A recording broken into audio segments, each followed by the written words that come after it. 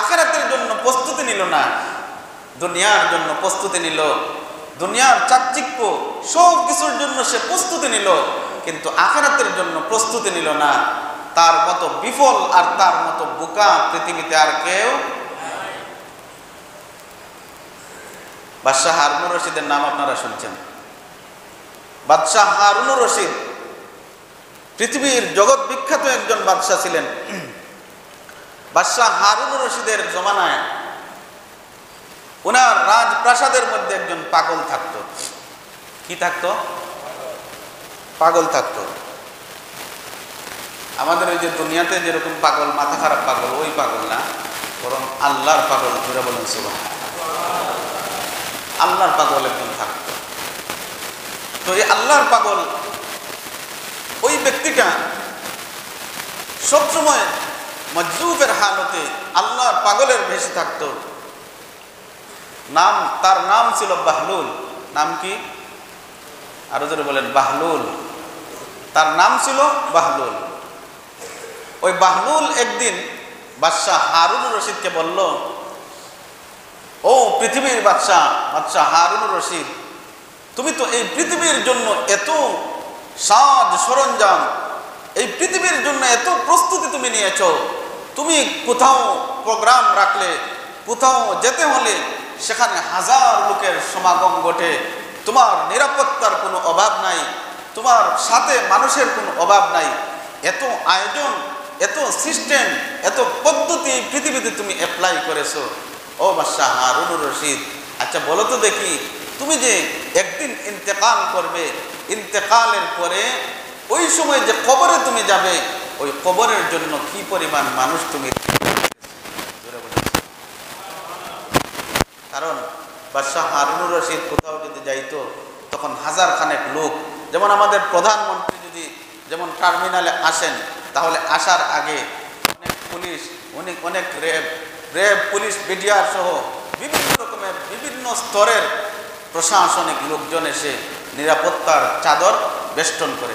কথা কোন এরকম এরকম ছিলেন বাদশাহ হারুনুর রশিদ। তো বাদশাহ হারুনুর রশিদ বললেন বাহলুল কথাটা বড় সত্য বলেছ।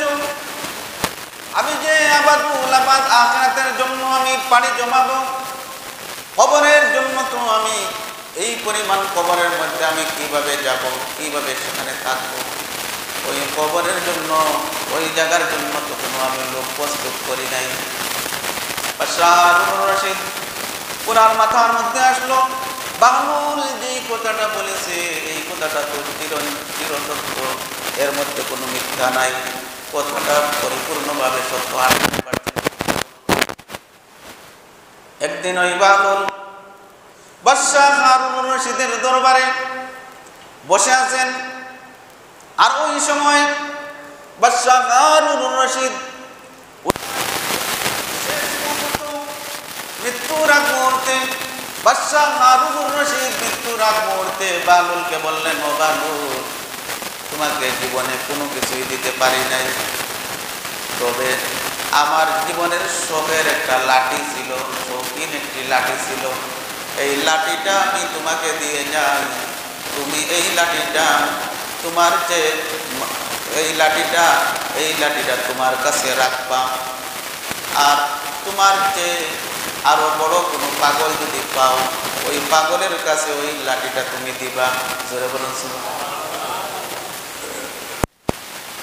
তোমার চেয়ে আর বড় যদি পাগল পাও, তাহলে তুমি ওই পাগলের কাছে ওই লাঠিটা দিবা। খলিফা হারুন রশিদের কাছ থেকে লাঠিটা বাহরুল নিলেন।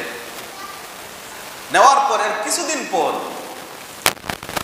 আবার ওই লাঠিটা নিয়ে ওই সময় হারুন রশিদের মুমূর্ষ অবস্থা, এমন অবস্থা যে আর ওখান থেকে ফিরে আসার মতো আর কোনো সুযোগ নাই। বাদশাহ হারুন রশিদের দরবারে বাংলুল এসে বললেন, ও বাদশাহ হারুন রশিদ, তোমার যে অবস্থা আমি মনে করতেছি, আর হয়তো তুমি পৃথিবীতে বাঁচবে না। কিন্তু তুমি ওই লাঠিটা আমাকে দেওয়ার পর তুমি বলছিলা আমার চেয়ে আরও কোনো পাগল যদি আমি পাই, তাহলে ওই পাগলকে আমি দিতে। কিন্তু গোটা দুনিয়া আমি চিন্তা করলাম, আমি দেখলাম আমার চেয়ে আর বড় কোনো পাগল নাই। আমার চেয়ে বড় পাগল হইলা তুমি, সুতরাং তোমার লাঠি তোমার কাছে নিয়ে না বললেন, কীভাবে? বলে, দেখো, তুমি মৃত্যু বরণ করবে। এমন অবস্থা তোমার। এখন তুমি দুনিয়ার চিন্তা করতেছো। তাহলে আমি মনে করলাম, আমার চেয়ে আরও বড় পাগল তুমি। সুতরাং তোমার লাঠিটা তোমার কাছেই রেখে দাও। দুনিয়ার জন্য তুমি এত পাগল হয়েছো। তাই জন্য আমার ভাইরা, দুনিয়ার জন্য আমরা এত প্রস্তুতি নিচ্ছি।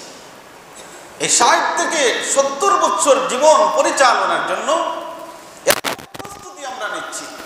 বিল্ডিং বানাচ্ছি, বালাখানা বানাচ্ছি, টাইলস লাগাচ্ছি। কতদিন আমি থাকব? আচ্ছা বলেন, বাথরুম যে আমরা বানাই, ওই বাথরুমের ভিতরে গিয়ে কয় মিনিট থাকি? বড় জোরে দশ মিনিট দশ মিনিট আমরা বাথরুমের মধ্যে থাকি। আর যে মেইন বেডরুম আছে, ওই বেডরুমের মধ্যে আমরা দিন রাত সব সময় থাকি। কিন্তু এই বেডরুমের মধ্যে অনেক সময় দেখা যায় টাইলস নাই। কিন্তু দশ মিনিটের বাথরুমের জন্য টাইলস লাগায় নাকি? লাগায় কি লাগায় না? না, আপনাদের এদিকে নাই। হ্যাঁ? দশ মিনিটে যেই বাথরুমে থাকবে, ওই বাথরুমের মধ্যে দেখা যায় টাইলস লাগায়। তাও শুধু টাইলস না, এমন অত্যাধুনিক ফর্মুলা সেখানে ব্যবহার করে যে পানি, তো পানি ব্যবহার করবে গোসলের জন্য। পুশ শাওয়ার লাগে, হ্যান্ড শাওয়ার লাগে, আবার বাটটাপ লাগায়, আবার ইংলিশ কমেট কমেট লাগায়। এরকমভাবে এমনও টেপ আছে যে হাত দিলে পানি আসে, ওইরকম টেপও লাগায়। আসে না নাই? আরও জোরে বলেন আসে না নাই? আপনাদের কথায় বোঝা যায় হয়তো মনে নাই। এত উন্নত মানের বাথরুম লাগা বাথরুম বানায়, মাত্র দশ মিনিটের জন্য ওই বাথরুম ব্যবহার করবে। ওই বাথরুমের জন্য লক্ষ লক্ষ টাকা পর্যন্ত খরচ করে। ওই বান্দা চিন্তা করে না, আমি যে বাথরুমের জন্য এত টাকা খরচ করলাম, আমি তো বেডরুমের জন্য এত টাকা খরচ করি নাই। বাথরুমের চতুর্দিকে আমি টাইলস লাগাইলাম, নিচে আমি টাইলস লাগাইলাম, বেডরুমের তো আমি চতুর্দিকে টাইলস লাগাই না। করি না ও আল্লাহ চিন্তা করুন এই দশ মিনিটের বাথরুমের জন্য কি পরিমাণ খরচ করে।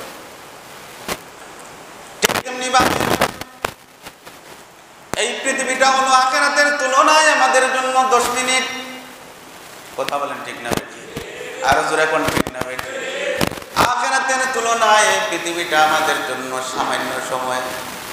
এই সামান্য সময়ের পৃথিবীতে এত সাজসজ্জা, এত আনন্দ, এত ফুর্তি। আমি আমার আখেরাতের জন্য কি বানাইলাম? আখেরাতের জন্য কি পরিমাণ আমি প্রস্তুতি নিলাম? ওই বিষয়টার জন্য ব্যস্ততা আমাদের বেশি নাই। কথা বলেন ঠিক না বেটি আখেরাতের জন্য আমাদের ব্যস্ততা বেশি নাই। যদি আখেরাতের জন্য ব্যস্ততা বেশি হয় তখনই ধরা হবে ওই লোকটাই হলো সত্যিকারের মুমিন। আখেরাতের জন্য যদি ব্যস্ততা বেশি হয়, পেরেশানি বেশি হয়, ধরা যাবে ওই লোকটাই হলো প্রকৃতপক্ষে আল্লাহওয়ালা। বাথরুমে বানাইলাম টাইস, লাগাইলাম টাইস। আখেরাতের ঘরের মধ্যে টাইস লাগাইলাম না। আল্লাহ তালা বলবে, কেয়ামতের দিন আইস, আমি লাগাইব তোরে বাইস কথা বলেন। কেয়ামতের দিন আইস, আমি দিব তোরে বাইস তখন তোর তোর উপরে থাকব সব সময় তাইস। কথা বলে এত সুন্দর সুখ সজ্জা নির্মাণ করলাম। আমার কবরকে কীভাবে আমি সুন্দর করব? ওই কবরের জন্য আমি টাইস লাগাইলাম না। কবরের টাইস বলতে কবরের জন্য আমি আমল রেডি করলাম না। কবরের প্রশ্নগুলো উত্তর দেওয়ার মতো আমার কাছে কোনো পুঁজি নাই। মান রব্বুকা যখন বলা হবে বলার মতো আমার কোনো ক্ষমতা নাই। ওমা দিন উকা যখন বলা হবে তোমার দিন কি ইসলাম কি তখন ইসলাম বলার জন্য আমার কোনো ক্ষমতা নাই। তোমার নবীকে নবীর আদর্শ আমার মধ্যে নাই যার কারণে কবরের জগতে যাওয়ার পর নবীকে পরিচয় দেওয়ার মতো যদি আমার যোগ্যতা না ও মুসলমান, কীভাবে আমি আমার বাথরুমে টাইলস লাগাইলাম আমার ঘরে আমি টাইস লাগাইলাম সব জায়গায় টাইস লাগাইলাম কিন্তু আমার কবরে তো আমি আল্লাহর বান্দারা যখন কবরে যাবে, প্রথম তাকে প্রশ্ন করা হবে, তোমার রবকে সারা জীবন যদি আমি রবের কথা মতো না চলি, আল্লাহ রব্বুল আলামিনের হুকুমে তখন আমি ওই প্রশ্নগুলোর উত্তর দিতে পারব না। কারণ আল্লাহ পাক রব্বুল আলামিন পবিত্র কোরআনের মধ্যে বলেন ইন্নাল্লাযীনা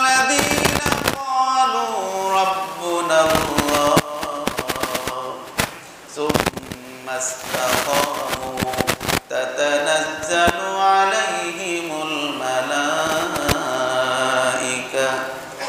আল্লাহ পাক রব্বুল আলামিন বলেন, যারা আমাকে রব হিসাবে স্বীকার করবে করবে, ক্বালু রাব্বুনাল্লাহ সুম্মাস্তাকামু আর এই কথার উপর যারা অটল বিচল থাকবে, অটল বিচল থাকবে। শুধু মুখে বললাম রব কিন্তু কথায় অটল বিচল থাকলাম না। শুধু মুখে বললাম, আল্লাহ আমার রব। কিন্তু অন্তরের মধ্যে নিলাম, আমার ব্যবসা তো আমার রব, কারণ ব্যবসা আমাকে পরিচালনা করে। অন্তরের মধ্যে যদি রাখি, আমার চাকরি আমাকে টাকা দে, চাকরি আমার রব। আমার ছেলে বিদেশ বাড়ি, আমার ছেলে আমাকে টাকা দে। অন্তরের মধ্যে যদি এই বিশ্বাস রাখি, তাহলে ইস্তেকামত ফিদ্দিন হলো না। আল্লাহর উপর পরিপূর্ণ আস্থা, বিশ্বাস হলো না। এজন্য আল্লাহ পাক রব্বুল আলামিন বলেন قالوا ربنا الله আল্লাহ পাক রব্বুল আলামিন বলেন যারা বলবে আল্লাহ আমার রব সুম্মাস্তাকামু এর পরবর্তীতে এই কথার উপর অটল অবিচল থাকবে আল্লাহ পাক বলেন তাতানাজ্জালু আলাইহিমুল মালাইকা ওই বান্দারা যখন মৃত্যু শয্যায় শায়িত হয়ে যাবে মৃত্যুর সময় যখন আসবে, আমি আল্লাহ তাআলা আসমান থেকে তাদের উপর ফেরেশতা নাজিল করব। আরও জোরে বলেন, সুবহানাল্লাহ। আল্লাহকে যদি রব হিসাবে মানতে পারি, আমরা যখন অসহায় হয়ে যাব, মৃত্যুর সময় যখন আসবে, তখন আল্লাহ তাআলা আমাদের বন্ধু হয়ে যাবেন। আল্লাহ তাআলা ওই বন্ধু কীভাবে পৃথিবী থেকে বিদায় নেবে, ওই চিন্তা চেতনা করে আল্লাহ তাআলা আমাদের কাছে আসমান থেকে ফেরেশতা নাজিল করবে। ওই ফেরেশতারা এসে বলবে আল্লাহ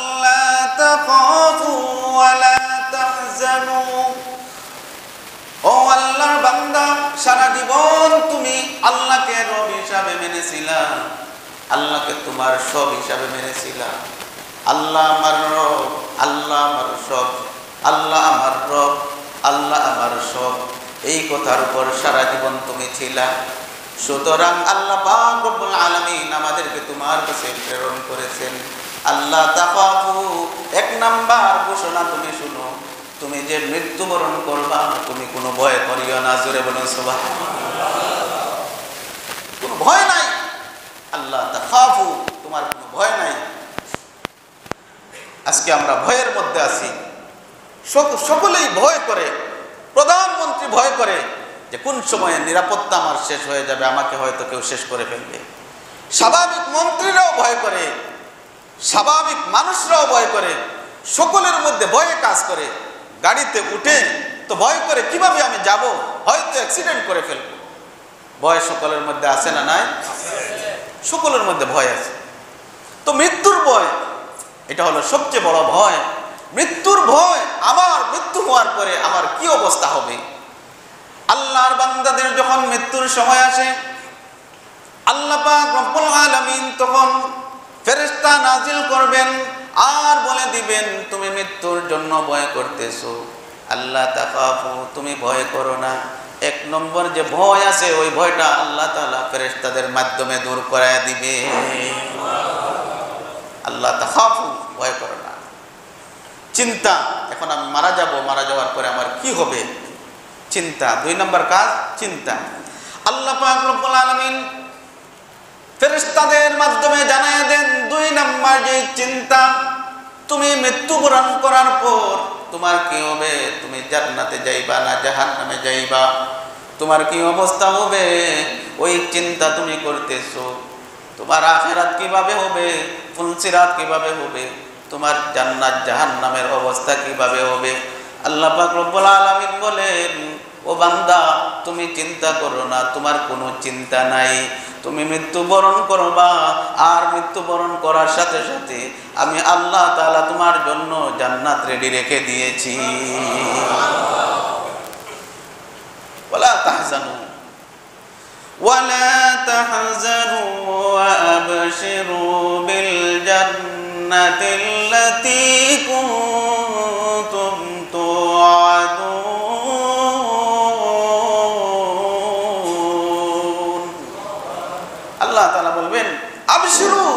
সুসংবাদ নেও বিল জান্নাহ এমন একটা জান্নাত আমি তোমার জন্য রেখে দিয়েছি যেই জান্নাত আমি তোমার সাথে ওয়াদা করেছিলাম তোমার মৃত্যুবরণ করতে দেরি হবে কিন্তু তোমার নামে জান্নাত বরাদ্দ হতে দেরি হবে না জোরে বলুন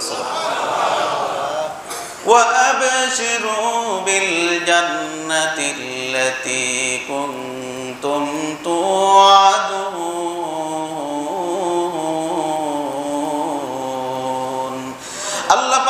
আলামিন বলবেন, রে আমার বান্দা, তোমার জন্য জান্নাত দিয়েছি আমি।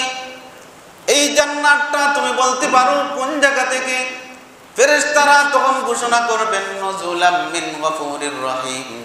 রে বান্দা, তোমার জন্য যে জান্নাতটা দেওয়া হয়েছে, এই জান্নাতটা হলো অসীম দয়ালু, আল্লাহ পাকের পক্ষ থেকে তোমার জন্য বরাদ্দ। নুজুলাম মিন গফুরির রহিম। এজন্য আমার ভাইরা মৃত্যুর জন্য সকলকে প্রস্তুতি নিতে হবে, পরিপূর্ণ প্রস্তুতি নিতে হবে।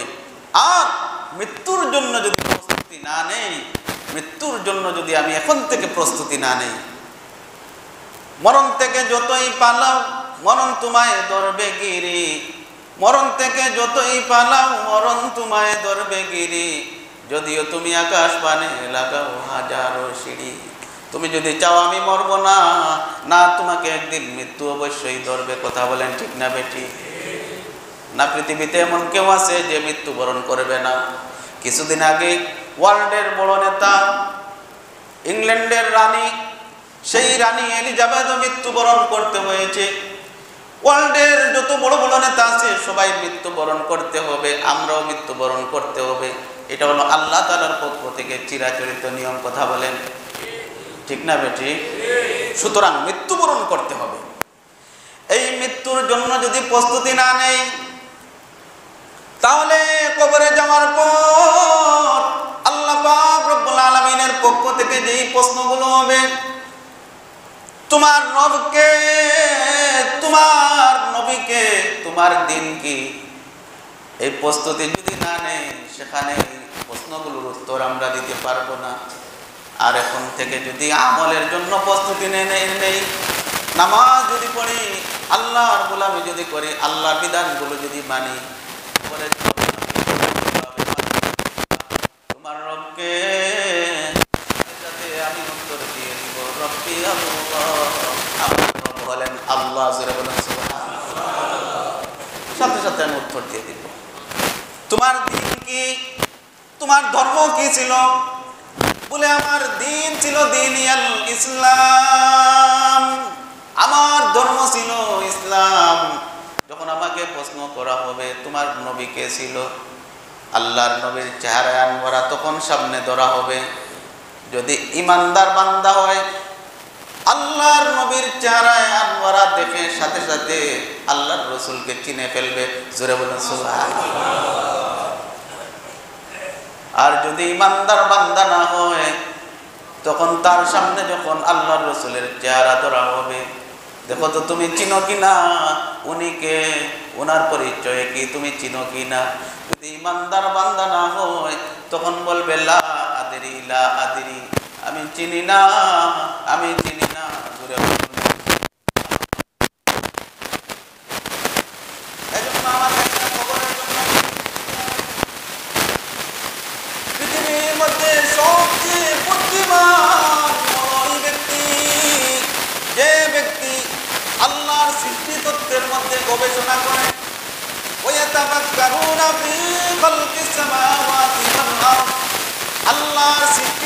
মধ্যে গবেষণা করে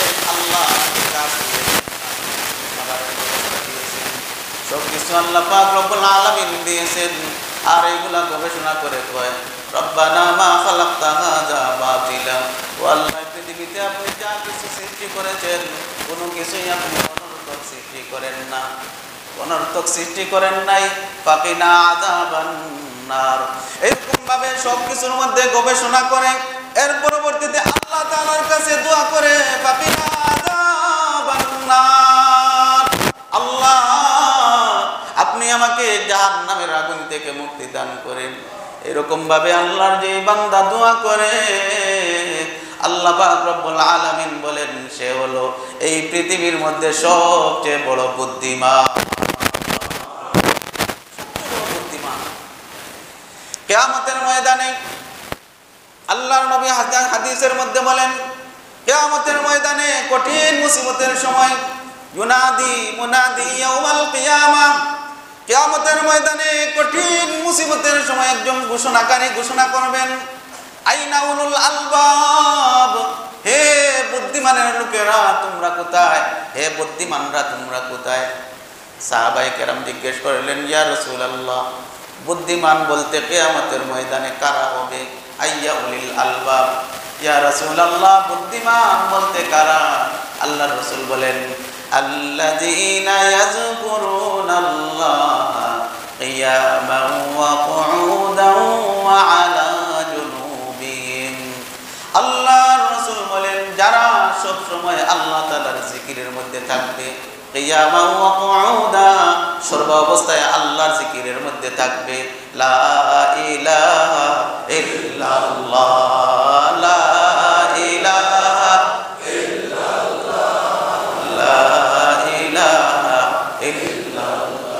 আল্লাহর রসুল বলেন, যারা সবসময় আল্লাহর জিকিরের মধ্যে থাকবে, জিকির শুধুমাত্র এগুলো না জিকির হলো আল্লাহর বিধান। যে সময় যেটা সব কিছু পালন করার মধ্যে যারা থাকবে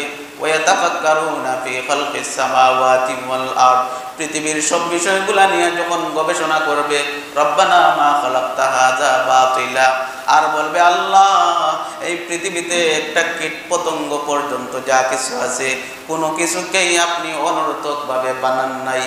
এই গবেষণা যারা করবে, এই চিন্তা নিয়া, এই চেতনা নিয়া যারা চলবে, আল্লাহ রব্বুল আলামিন বলেন, তারাই হলো উলুল আলবাব, তারাই হলো সবচেয়ে বড় বুদ্ধিমান, তারাই হলো সবচেয়ে বড় বুদ্ধিমান। কিন্তু আমরা আজকে মনে করি, দুনিয়ার লাইনে যদি কেউ বড় হয় সবচেয়ে বড় বুদ্ধিমান, কথা বলেন ঠিক না ঠিক?